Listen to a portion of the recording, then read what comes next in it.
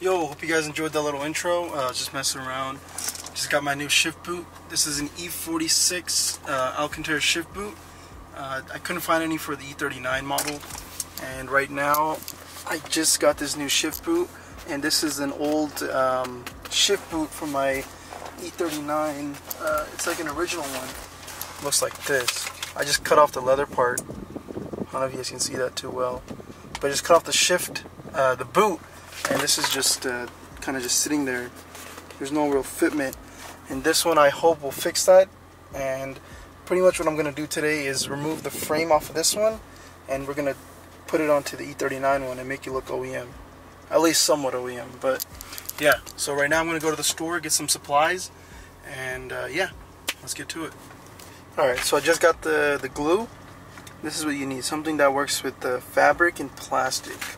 Because the frame is plastic, and this is obviously some sort of fabric. Okay, cool. This is it, Loctite. It was like $3. And yeah, let's see how it works. Alright, so I messed up, and now it's a couple days later. I still haven't started. So yeah, let's, uh, let me show you guys what I got. What you're gonna need to do all this. First off, you'll need your shift boot. Oops, I scratched the car. You're gonna need this Loctite flexible adhesive glue. And lastly, you're going to need a shift boot that you don't need because that one's for an E46 and this is an E39. Yeah, let me just struggle to take this off. There you go. And then just take this out. And then yeah, let's get to it.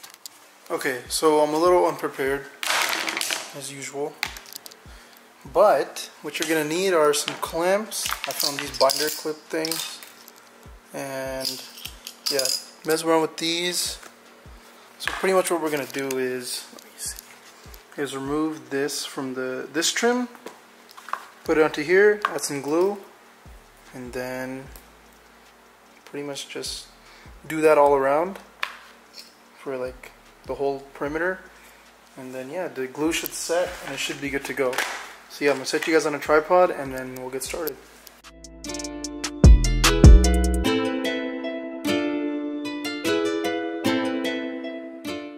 Okay so now you guys can see that I've got both of the the boots off. Sorry about that.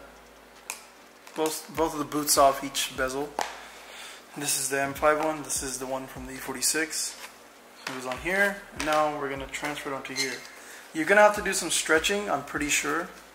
I've never done this. I've done it on my E30, but not on this. So I don't know how the fitment's gonna be, but you know, we'll figure it out.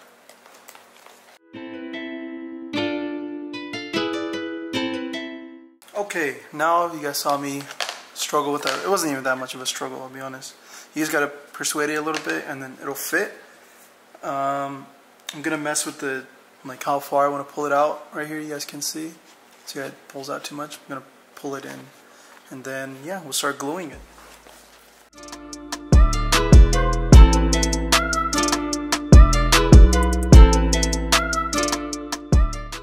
Okay now I got it to where I wanted it. I got all the edges as close you know as high up as I want them otherwise it's gonna start slipping off.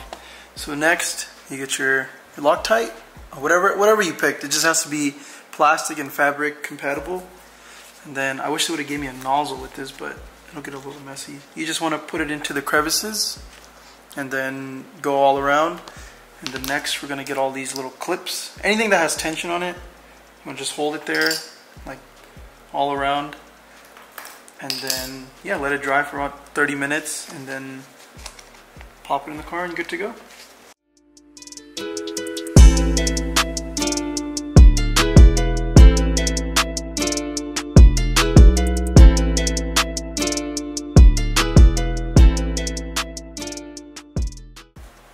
Okay, so I got all the clamps on, but obviously I'm short.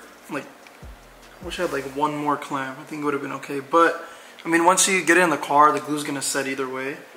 And it'll just press all together. It'll be a tight fit. Because I think this this material is thicker than this, so it'll, it'll definitely press together. By the way, if anyone needs this, I don't know why you would, but it's from an M5. If you need one, hit me up. And then this one, also hit me up if you need one for an E46, never been used. So yeah, I mean you can, you can obviously just do this. But, do what you want. Just message me or leave a comment down below, and then I'll get back to you. So, it looks like it's it looks like it's alright. It's been 30 minutes. Take off all the clamps now. It should be good to just pop in and then the glue will set even more within the next 24 hours or so. So yeah, it's not fully cured, but you know, it's enough to, to pop it in there. And as you guys can see, it's like, it kind of overlaps on the clip. But I mean, that's if you want to cut it, you can cut it with the with the blade. I don't really care. I mean, if it affects the fitment, I might, but I'm gonna give it a shot anyways. A moment of truth. Looks like it's fitting all right so far. Actually, looks like it kind of fills in the gaps better than the original one. Like around the edges. Once you get that in there, tuck those in, get the shift knob. Wow, that's actually pretty nice. Better than I expected.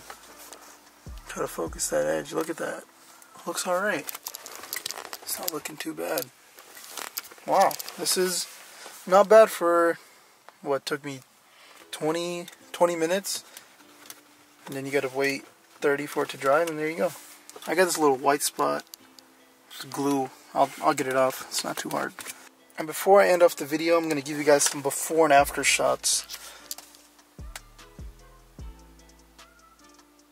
And once again, thanks for watching, and subscribe if you liked it. If you didn't, um, leave a dislike.